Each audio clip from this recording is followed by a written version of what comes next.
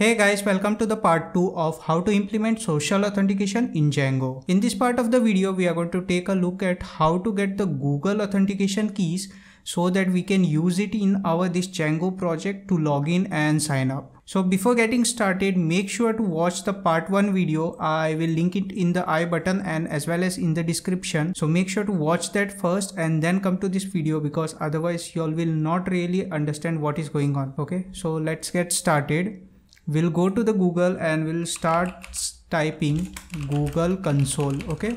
So once we have typed that uh, the console.cloud.google.com this is the website that we are going to open.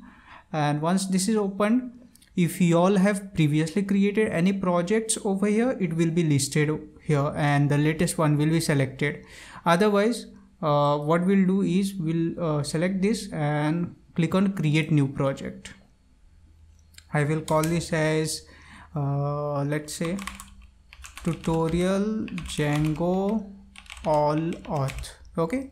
So this is what we are going to name. Click on create and our new project will be created. Okay? So let's just wait. It will take some time to create. And it is created. So now we are going to click on select the project. And once that is done it will be selected over here and you all can see that. Now we'll go now where we'll go? We'll go over here. We'll go to apis and credentials. Api services and credentials. Okay over here we are going to create a new credential. So click on this and out of all these we are going to select oauth client id okay? So we are going to click on that. Then okay so we have to click on configure consent screen. Or consent screen. Then it will be external. Now this is the information that will be shown on the consent screen. What if you all don't know what consent screen means whenever you all click on any google signups uh, like google prompt okay so it will show all the details okay? So we are going to call it a django. Uh, let's check what i have named the project as. Django all dash auth. So i'm going to name it same thing. Django dash all dash auth okay so if we have to provide support email uh, we will select this one whichever is available uh, and logo everything I will ignore. We'll go to developer contact and we are going to so we'll click on save and continue okay? And then it will ask me for scope okay? So we are going to add or remove scope and over here we are going to search for login let's say.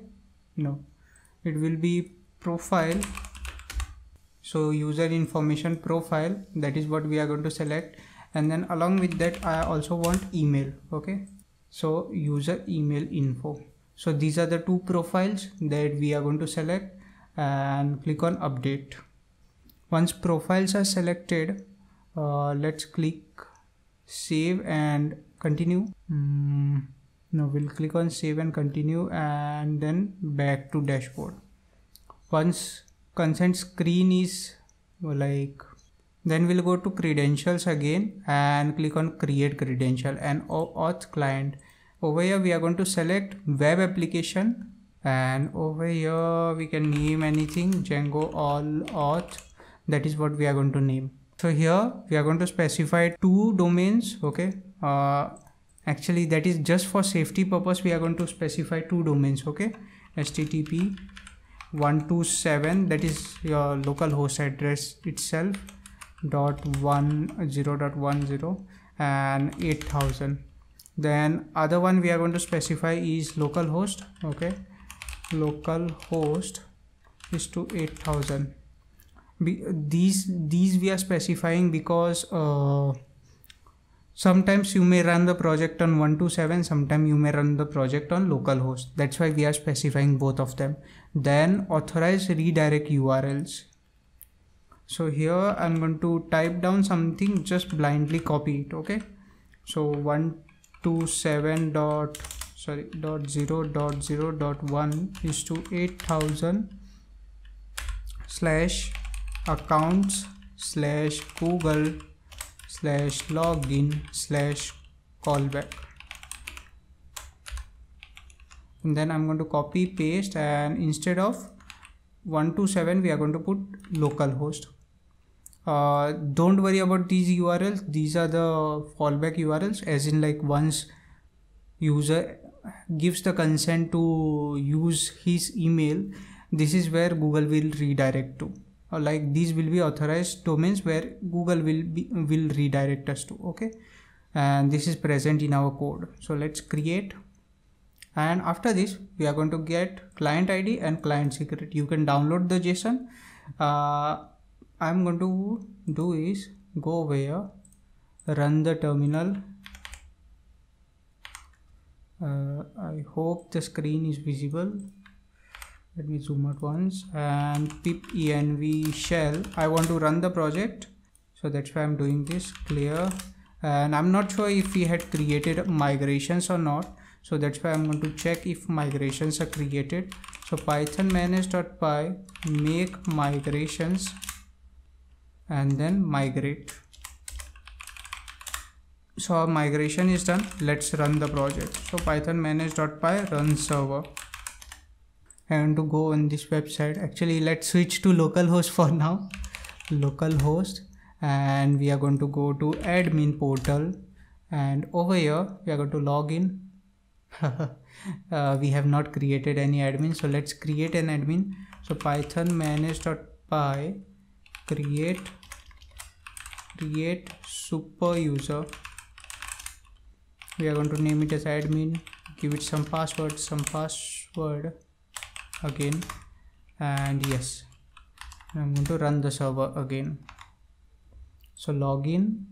And if you see closely these are not uh, these three models are not really Django models. So in one of them we are going to create a new token. So social authentication social application is where we are going to create our new token. Okay uh, it doesn't really looks good so i'm going to turn off that provider. This is the google provider because since we have specified it in uh, the settings.py that's why it is available over here. Now the name i'm going to say django auth app okay? Then it requires client id that we are going to take it from here. Copy this one paste it then we are going to go to client secret. That is what we are going to copy and paste it. This key is not really required. And example domain will update this one. Okay. So now click on save. So our app is created over here. And now you all can close this. And if you all by mistake have closed it before and want to see the client id and secret id so you all can either copy it from here or click on this name and inside this we are going to get the client id and we are also going to get the client secret. So you all can copy that. A disclaimer that many of us doesn't really know about this. Since i have worked with google previously i know uh, these problems. So i'm going to let you all know beforehand itself. Say in future you all want to add another uri over here. In authorized redirect or in javascript origins okay? You all might have to create another secret and download and use that new secret okay so sometimes we do face problem related to this and it doesn't work with old secrets. So this is this was a disclaimer that i wanted to tell you now our this is ready. And let me explain what social accounts are. Whenever a user connects any app new record will be created over here and also in email address. Then in social application token uh, as the user logs in the tokens will be generated and it will be saved over here. Next thing is sites. Okay so sites if you remember in settings.py we have given site id as one.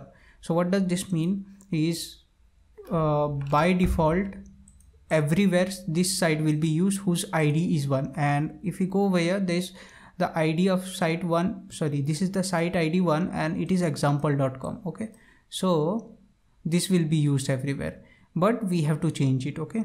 So we are going to change it to 127 sorry 127.0.0.1 copy and paste it I will check this if any changes are required I will let you all know. So that's it guys for this video. In the next video we are going to take a look at how to log in uh, using Google and how to use that in our code and like how to update the templates. So make sure to subscribe to our channel, like this video and see you in the next one.